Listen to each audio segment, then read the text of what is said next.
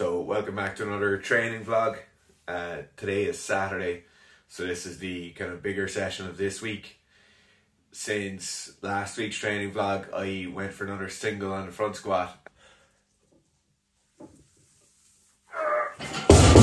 And kind of blew my training load for the week, so failed 200 kilos. Um, and it just like front squats are a way of fatiguing you that other squats, like back squats, tend to not. So today is some kind of over speed runs at a kilometer. So it's 1k. I think that actual run is like 960 meters down a bit of a hill. Um, so working for like running faster and faster over a slightly long this longer distance depending on how those 1Ks go, I might do 400 meter repeats afterwards on a different section of road and not on a hill, just on a flatter piece. So yeah, I'll be bringing you with me. You'll see the weather today is is pretty shit, so not really going to be able to video a huge amount, but I'll try and get as much as I possibly can. Um, it's pretty windy and shitty here. It's around three or four degrees Celsius today, and it's windy as fuck, and it's raining. So you'll get to see that later on this evening. Then I'm squatting, um, so back to back squats now. the original plan all along was take a bit of a hiatus from back squats and go front squatting for a while and try and front squat something quite heavy. Um, 190. So I've done 190 twice in the last week uh, or eight days actually. So 190 is there. 195 is like my old PB. So I really want to hit 200 uh, kilos for a single. That might happen still, um, but at the moment I'm just gonna have to go back to back squatting today and see how that goes. Training overall is going very very well.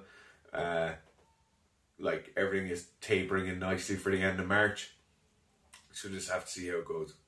So that 1k is just done. Um, pace for a five minute mile on 1k is like 307 I think if you're going to be flat paced the whole way. So that was three minutes flat for just less than 1k, uh, which is good. I'm happy enough with it. The plan for today was if the overspeed training was too slow, do more of it, like try and really ramp up the pace. Um, but that was pretty much bang on pace there. So it's on to 400 meter capacity runs now, which are shit. So that's the 400s done. Uh, five 400s in total First one, like nice and slow pace. Uh, I didn't put a stopwatch on, but I'd say it was around 90 seconds. It was pretty much the same as the last one. The second one then, 76 seconds. Third one was slightly faster again, just under 76. Fourth one, same as the third, so like 74 or something. Uh, and then the fifth one was just slow, so like 90 seconds again. Uh, I do understand that I need to start videoing the running I just don't have a GoPro at the moment, and everyone in my house was busy to drive along behind me. So that's something we'll fix for next week. Uh, yeah, and just time to eat some food, chill out for a while. It's like quarter to four, um, and I'll probably squat at around half five or six o'clock. Uh, so hopefully we'll get the squats done without too much heartache. This is the start of the evening session. This is a very similar warm up to what you would have seen last week in last week's vlog. Just using the empty bar, doing some squats. Obviously, this is back squats instead of front squats. My legs are pretty bait at this stage. It's been maybe like an hour and a half since I finished running. So I've had about two litres of water, I had some yogurt, and then just sat on the couch watching rugby matches.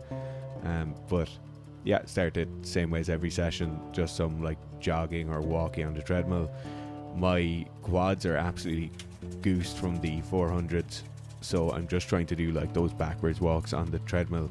There's just a slight incline on the treadmill uh, so even at like very moderate pace you can get a, a pump in your VMO pretty quickly which usually tends to like once my VMOs are warmed up that tends to get rid of most creakiness in the knees and and any kind of referred pain I get from having tired quads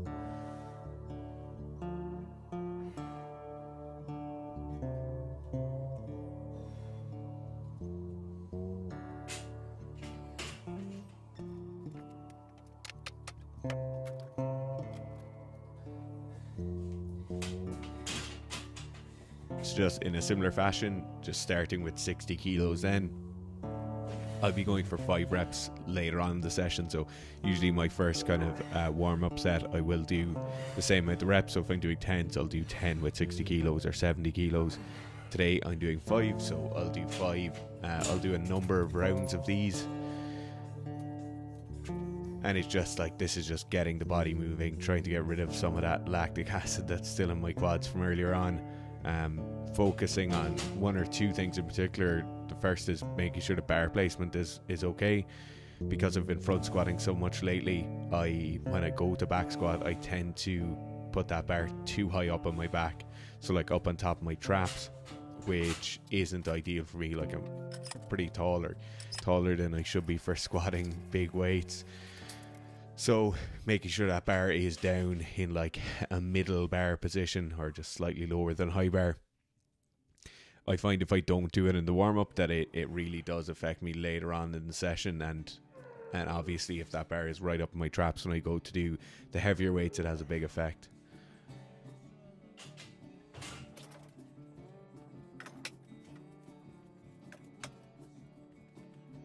So you'll see the singlet is out for tonight's session. Uh, the singlet's actually out because of the running beforehand. Uh, so big quads don't make for for a good relationship between uh, for good running because of obviously like friction. So uh, weightlifting singlet is a great way to get over that.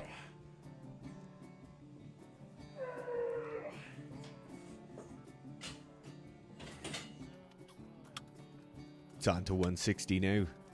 So 160 is on front squats is pretty much the weight where I know how the session's to go. But on back squats, 160 is still like pretty much a warm up weight. Don't have to pay too much attention, especially because it's usually the first weight that like knee sleeves and and uh, belt goes on.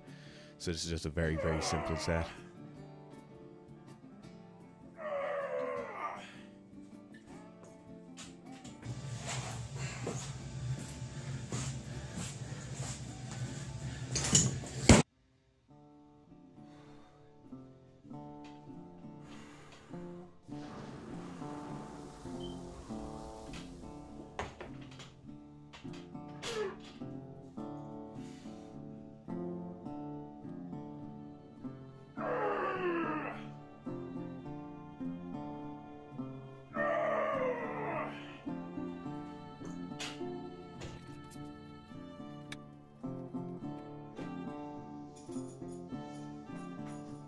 And here's on to 190. I tend to do a lot of like my prep phase with very much squats to parallel, where I'm having to work hard in that like amortization phase, having to really slow myself down at the bottom. Whereas now, when it's like in a strength phase, I pretty much just brace and allow myself to use that stretch shortening cycle. And here's the set of five.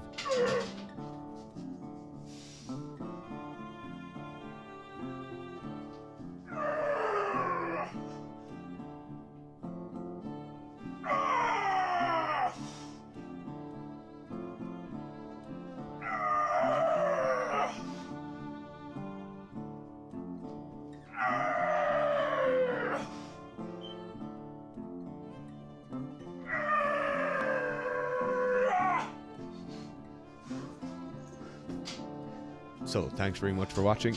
Uh, throw your questions and comments below. Uh, all shit talk is very, very welcome. Thanks, guys.